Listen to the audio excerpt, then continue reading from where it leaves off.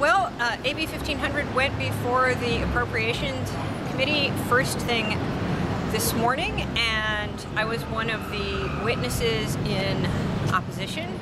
And it was a very interesting hearing. The Republican co-chair of the committee asked a lot of penetrating questions of Mr. Dickinson after the testimony that James Root and I and the speaker from V2 and the speaker from NJOY gave and ultimately directed all of the Republican members of the committee not to vote. Uh, there was also at least one Democrat who voted against, uh, which means if I have the math correct, and I would probably need to go back and look at all of those people and count, but if I have the math correct, that means that it did not pass the committee and will have to uh, probably go back and be uh, rewritten and uh, reformulated and start over again. Which of course takes an enormous amount of time. So that's um, an unexpected success for uh, Vapers today here in Sacramento. Well, here's the thing with the FDA. We're gonna all be really busy with that, and I strongly suspect we're gonna see more bills like AB 1500. We're already seeing them now. We've seen them in the past, but I do expect that they'll be increasing their intensity because local governments are going to think we're going to be too busy with the FDA. They also already believe that the FDA regulation does not go far enough. So they're going to try even harder in the next two years to get more of these rules and legislations passed and, and written, which probably means we're going to have more of these get-togethers and I more of these fight. fights. I think we'll be wearing a groove. I'm really pleased at the number of people who showed up today. We have several uh, vendors from different parts of California. We have various uh, vapers and consumers here. And I hope that people continue to support our efforts to stand up for the rights of vapers. My name is Jim Root. I'm from the California Vapor Association.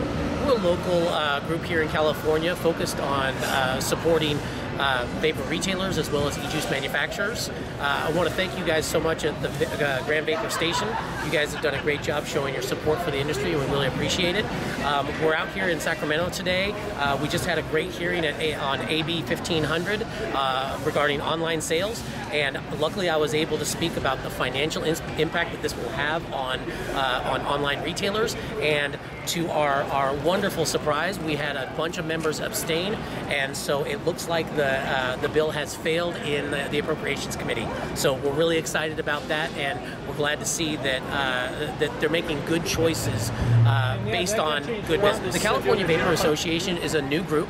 Um, I uh, I have been advocating for the vapor industry for the last year or so for a number of individual shops, and I feel that we need a united voice speaking on behalf of uh, vapor retailers, both online and brick and mortar retailers, fighting those fights that we can win at the local and statewide level. Uh, the federal level is is very important, and there's other groups out there that are focusing on that. I want to focus on the issues that face us at the local level.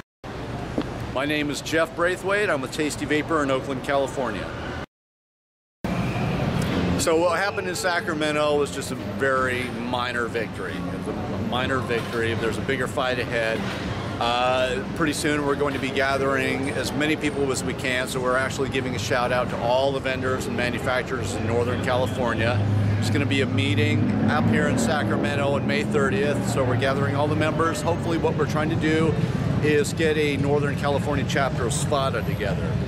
Uh, right now we're grossly underrepresented. SFATA would take the time to screen out any of the potential lobbyists. They will train them, get them up to par at what we're doing. So we're pooling vendors, we're pooling manufacturers, we're pooling funds, and we're trying to make this happen. So when things like this get put on the docket, we're well represented. So we hope we can count on each of you to show up May 30th. If you're interested, you can get in touch with us at Tasty Vapor, and we'll give you more information at that time. Uh, we look forward to seeing you guys there. Take care, keep the fight.